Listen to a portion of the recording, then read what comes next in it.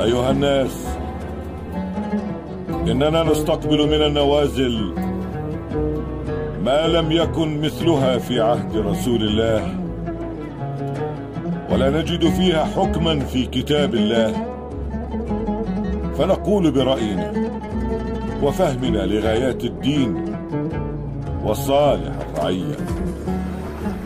وأن الرأي إنما كان من رسول الله مصيبا فإن الله كان يريه وقد انقطع الوحي.